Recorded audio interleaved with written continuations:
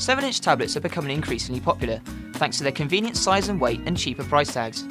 Here, we take a look at some of the best buys on the 7 inch market.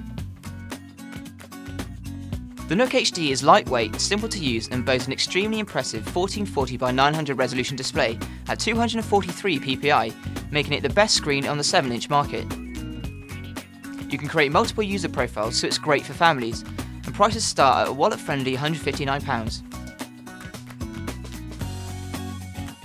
Not only is the Amazon Kindle Fire a steal at just £125, but it also has an excellent user interface, is built well, and has a great web browser. You also get access to Amazon's unrivaled media database, and although the paltry 8GB of storage is disappointing, the ability to store content in the cloud helps make up for it. With its highly streamlined UI, the Amazon Kindle Fire HD is very user-friendly and easy to navigate, making it perfect for tablet novices. It also has a crisp 1280x800 display that's ideal for movie watching, and like its little brother comes with access to Amazon's vast media ecosystem. The quad-core Google Nexus 7 is without a doubt the best budget Android tablet on the market.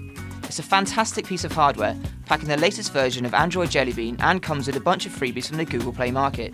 It's also a bargain and can be picked up for under £200.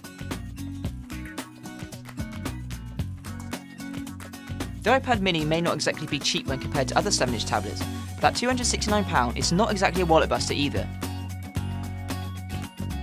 The iPad mini is sleek, stylish and cool, packs a speedy A5 dual-core processor.